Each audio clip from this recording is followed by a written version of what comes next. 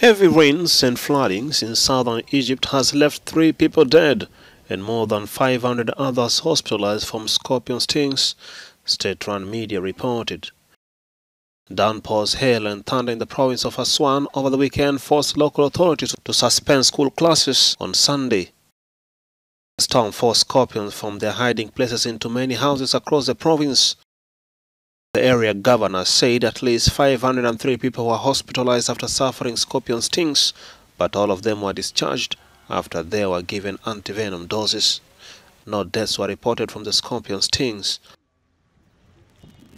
Several houses, vehicles and, and agricultural farms were also destroyed.